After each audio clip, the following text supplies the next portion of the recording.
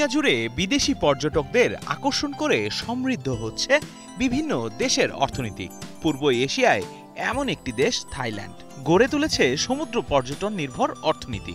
জিডিপিতে দেশটির পর্যটন খাতের অবদান তেইশ দশমিক দুই শতাংশ। টাকার অঙ্কে যা প্রায় আটাশ হাজার কোটি টাকা। সমুদ্র ঘিরেই যার বেশিরভাগ আয়। প্রতি বছর গড়ে সাড়ে তিন কোটি পর্যটক ভ্রমণে আসেন থাইল্যান্ডে।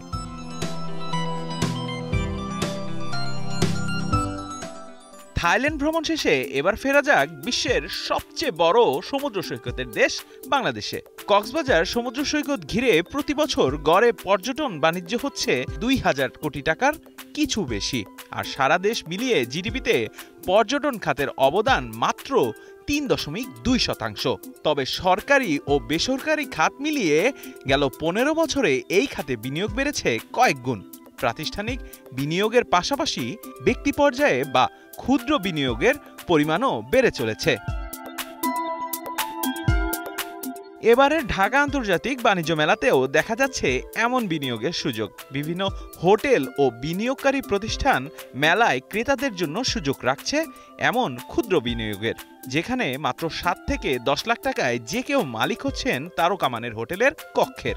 আগ্রহীরাও যাচাই বাছাই করে দেখছেন এসব। আমি দেখলাম কাগজ সোনাদের এই ডিজাইন টিজাইন দেখলাম রুম এটা প্যালেসগুলো দেখলাম দেখার পরে আমার কাছে ভালো লাগছে। চার লাখে বা পাঁচ লাখে হোয়াট এভার ইট ইজ যদি একটা কক্সবাজারের মতো একটা ট্যুরিস্ট প্লেসে যদি আমার এক শতাংশ জায়গা থাকে মানে এক পার্সেন্টও জায়গা থাকে it's a huge thing for me প্রতিষ্ঠানগুলোর কাছে জানতে চাই এমন বিনিয়োগে আগ্রহ আর ভরসা কতটুকু?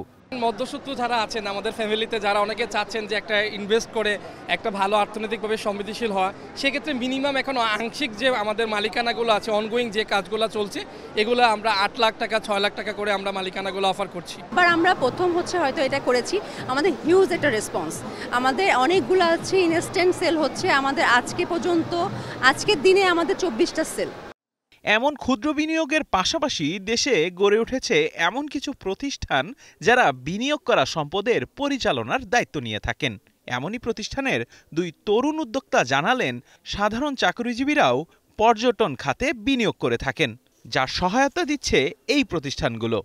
তারও একটা শখ থাকে যে সে একটা বোটের ওনার হবে বা একটা রিসোর্টের ওনার হবে। সেই ক্ষেত্রে ছোট ছোট অপশনের যে ব্যাপারটা, সেটা আমরা সুন্দরভাবে চিন্তা করে তাকে একটা ফলপ্রসূ একটা প্রপোজাল দিই। আমরা যেটা করি বেসিক্যালি কেউ কোনো হোটেল, কোনো রিসোর্ট কোনো হাউস বোট কেউ যদি শখের বসে বা ব্যবসায়িক উদ্দেশ্যেই বানানো হয়, বানিয়ে ফেলে এবং সে ওটা ওইভাবে চালাতে পারছে না। তো আমরা একটা দক্ষ ম্যানেজমেন্টের মাধ্যমে আমরা একটা নির্দিষ্ট পরিমাণ সেলস কমিশনের মাধ্যমে আমরা হচ্ছে ওই প্রজেক্টটা নিয়ে কাজ করে থাকি। আগামী কয়েক দশকে পর্যটন খাত হবে দেশের দ্বিতীয় সর্বোচ্চ আয়কারী খাত। সেই লক্ষ্যে এমন ক্ষুদ্র বিনিয়োগ এই খাতকে কতটা সহযোগিতা করবে জানতে চাই এই পর্যটন খাতের বিশ্লেষকের কাছে। তিনি জানালেন, বিনিয়োগই পর্যটন খাতের অর্থনীতিকে বড় করে তুলবে, তবে বিনিয়োগের ঝুঁকি নিয়েও সতর্ক থাকার পরামর্শ তার। ক্ষুদ্র ব্যবসায়ীদের টাকাটা যেটি তারা এখানে ইনভেস্ট করছেন, তাদের মধ্যে একটি আস্থার জায়গা তৈরি করতে হবে যে তারা যেন রিটার্ন অফ ইনভেস্টমেন্টটা একটি সঠিক সময়ে পায়। সেই সাথে এই পর্যটন নগরীগুলোকে যে আবাসন প্রকল্প গড়ে উঠবে, সেটি অবশ্যই যে পরিবেশ মন্ত্রণালয়ের একটি ছাড়পত্র থেকে শুরু করে পর্যটনের সামগ্রিক ভারসাম্যর সাথে খাপ খাইয়ে এই হোটেল মোটেল রিসোর্টগুলো কিন্তু তৈরি হতে হবে। পর্যটন খাতের অপার সম্ভাবনাকে ঠিকভাবে কাজে লাগাতে পারলে দেশের অর্থনীতিতে যেমন বহুমুখী আয়ের সুযোগ তৈরি হবে সঙ্গে সুযোগ তৈরি হবে বহু মানুষের কর্মসংস্থানের। দেবরাজ দেব এখন ঢাকা। ফোন থেকেই ভ্যাকেশন মুড অন করা যায়। অন করুন ভ্যাকেশন মোড এনার্জি সেভ করুন নিশ্চিন্তে। ওয়ালটন স্মার্ট ফ্রিজ বোঝে আপনার প্রয়োজন।